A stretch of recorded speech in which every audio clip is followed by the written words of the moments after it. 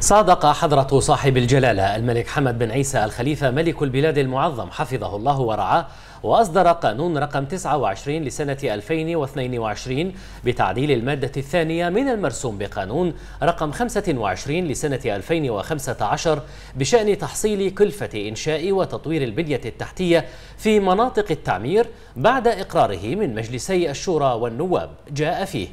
تضاف إلى المادة الثانية من المرسوم بقانون رقم 25 لسنة 2015 بشأن تحصيل كلفة إنشاء وتطوير البنية التحتية في مناطق التعمير فقرة ثانية نصها الآتي.